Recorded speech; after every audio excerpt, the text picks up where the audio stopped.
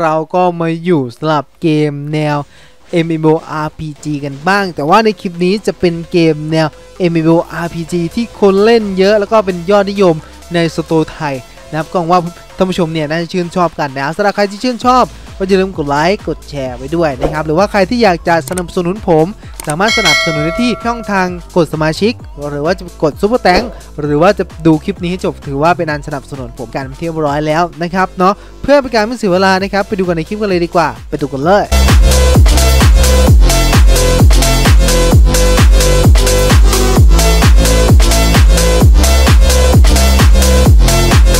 MMO RPG แล้วก็เป็นเกมในตำนานอีกอย่างเกมที่มีชื่อว่า Black Desert Mobile ซึ่งเกมนี้เปิดให้บริการทั้งตัวของ PC แล้วก็ Android ด้วยนะครับ แล้วก็ตัวเกมเนี่ยมันจะมีความ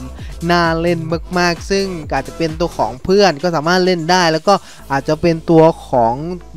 เควสต์ต่างๆ ก็คือมีเยอะแยะมากมาย เลยทีเดียวแม้กระทั่งตัวของอาชีพเองก็มีการอัปเดตให้ว่าเราได้ไปเลือกเล่นกันค่อนข้างเยอะเลย แต่ละอาชีพก็จะมีความสามารถแตกต่างกันไปด้วยเนาะมีการอัปเกรดนะครับมีการสวมใส่ของต่างๆ เก็บไอเทมต่างๆ ตีบอส ไล่ล่าบอสก็แล้วแต่ว่าเราจะไปเล่นกันนะครับก็เป็นเกมที่น่าเล่น แล้วก็กินสเปคโคตรเลยนะครับอาจจะเทียบเท่าตัวของ Genshin Impact ได้เลยนะครับสำหรับตัวเกมนี้ เกมในตำนานที่ยังเปิดตัวในตอนนี้อยู่นะครับสำหรับเกมที่มีชื่อว่าโท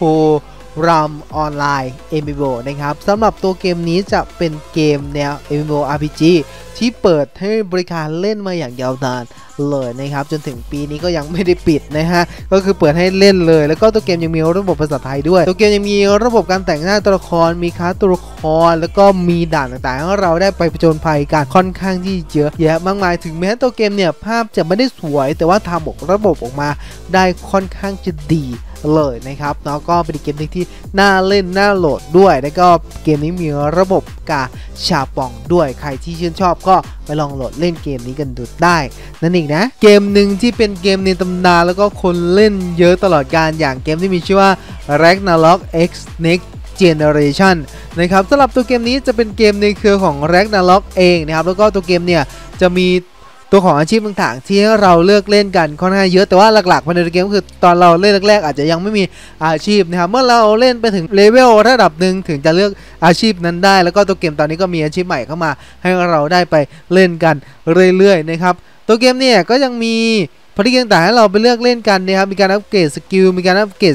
status ด้วยเหมือนกันนะครับ ตัวเกมจะมีระบบภาษาไทยให้เราได้เลือกเล่นกันด้วย ตัวเกมนะครับก็จะมี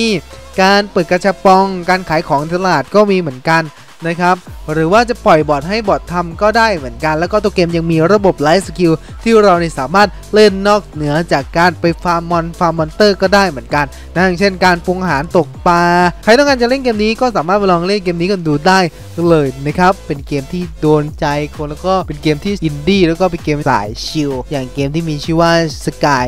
Children of the Light นะครับตัวเกมนี้เปิดตัวมานานแล้วนะครับแต่ว่าคนเล่นก็ยังเยอะอยู่ว่าตัวเกมมันจะมีความน่ารักเล่นง่ายแต่ว่าตัวเกมเนี่ยจะไม่มี quest ตายตัวก็ขึ้นอยู่ว่าเราเนี่ยจะเดินไปไหนหรือว่าจะไปทำภารกิจอะไร ซึ่งตัวเกมเนี่ยสามารถไปเจอผู้คนที่สามารถเล่นในด่านนั้นๆได้นะครับก็ภาพกราฟิกภายในเกมค่อนข้างจะมีภาพกราฟิกที่จะ สวยงาม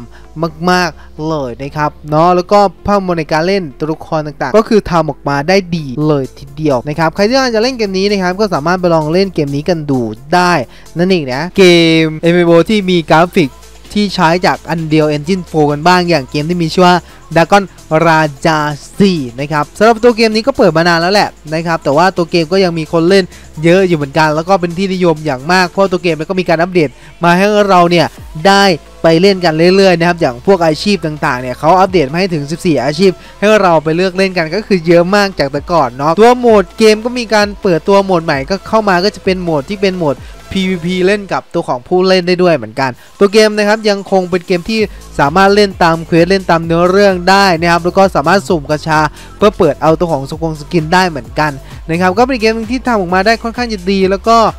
ระบบ gameplay ระบบลูกเล่นต่างๆ มีเยอะนะครับมีระบบการแต่งหน้าตัวละครด้วยเหมือนกัน นะครับใครที่ต้องการจะเล่นนะครับก็สามารถไปลองเล่นเกมนี้กันดูได้นะครับแต่ว่ามือถือเราต้องแรงระดับหนึ่งเลยถึงจะเล่นเกมนี้ได้ เพราะว่ามันกินสเปคโคตรเลยนะ อย่างเกมที่มีชื่อว่า Genshin Impact นะสำหรับตัวเกมจะเป็นเกม MMORPG นั่นแหละ ที่เราเนี่ยจะได้ไปตะลุยตามเนื้อเรื่องไปเรื่อยๆแล้วก็ map ภายในตัวเกมค่อนข้างจะใหญ่มากๆ ตัวละครต่างๆ เราสามารถจัดทีมตัวละครเพื่อไปเล่นได้มากถึง 4 ตัวละครเลยนะครับแล้วก็ตัวของ เกมก็จะมีระบบเยอะแยะมากมายให้เราได้ไปเลือกเล่นกันเล่นเนื้อเรื่องเล่นตามล่า boss ก็มีหรือว่าเล่นตาม quest ก็มีเหมือนกันมีระบบการอัปเกรดมีระบบกาชาปอง แล้วก็จะมี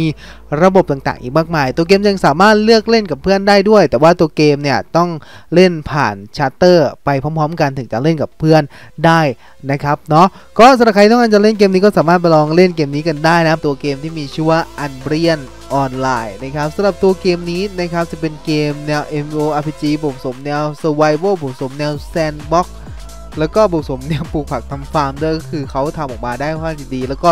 ระบบตัวเกมค่อนข้างเยอะแยะมากมายเลยนะครับ มีทั้งระบบที่เราเนี่ยสามารถไปดันเจียนได้ หรือว่าสามารถสร้างบ้านได้ หรือว่าสามารถทำฟาร์มได้ก็ขึ้นอยู่ว่าเราเนี่ยจะไปเล่นกันแล้วก็ map ภายในเกมค่อนข้างจะมีเยอะแยะมากมายนะครับ มีระบบการเล่นกับเพื่อนนะครับ แล้วก็ระบบกิลระบบสงครามระหว่างทวีปก็มีเหมือนกัน นะครับเนาะก็ขึ้นอยู่กับ quest ตอนนั้นเขาจะให้เราไปเล่นตัวไหนนะครับแล้วก็กราฟิกภายในเกมเนี่ยมันไม่ได้สวยจนเกินไปมันจะออกแนว polygon ภาพในการเล่นเกมนี้ ก็จะเป็นภาพมองมุมสูงนะครับเนาะสำหรับใครที่ว่าจะเล่นเกมนี้นะครับก็สามารถไปลองเล่นเกมนี้กันดูได้นะเพราะเกมนี้ค่อนข้างจะมีความสนุกมาก ๆ เลยนั่นเองนะ เกมที่กินสเปคกันบ้างนะเกมนี้จะมีชื่อว่า Revelation M นะครับสำหรับตัวเกมนี้จะเป็นเกมแนว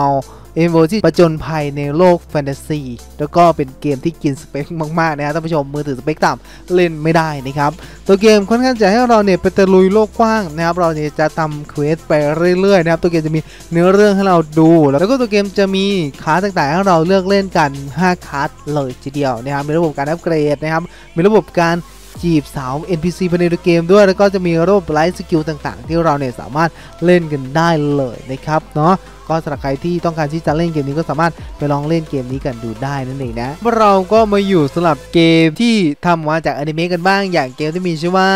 Sword Art Online ภาค Integral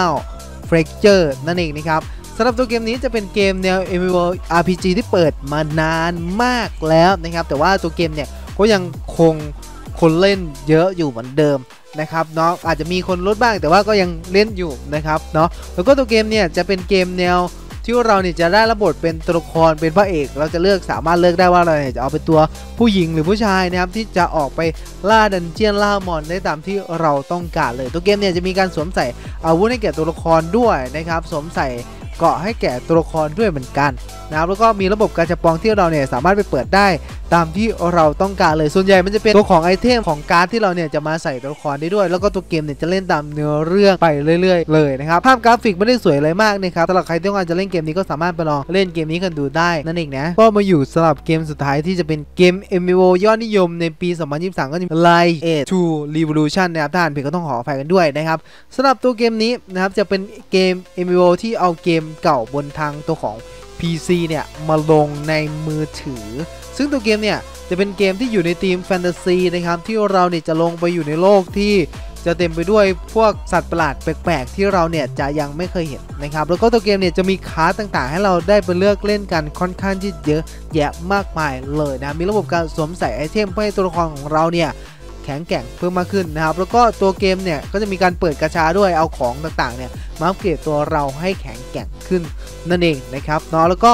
ตัวเกมก็จะมีระบบเนื้อเรื่องด้วยนะครับที่เราเนี่ยสามารถไปเพลิดเพลินกันได้เลยนะครับ ภาพกราฟิกก็ถือว่าสวยใช้ได้เลยนะครับสำหรับใครต้องการจะเล่นเกมนี้ก็สามารถไปลองเล่นเกมนี้กันดูได้นั่นเองนะ ก็เป็นบ้างสำหรับ 10 เกมแนว MMO ที่คนเล่นเยอะยอดนิยมนะครับก็หวังว่าท่านผู้ชมเนี่ยนะชื่นชอบคลิปนี้กัน ก็สำหรับคลิปนี้ขอลาท่านผู้ชมไปก่อน ไว้เจอกันคลิปหน้า สวัสดีครับผม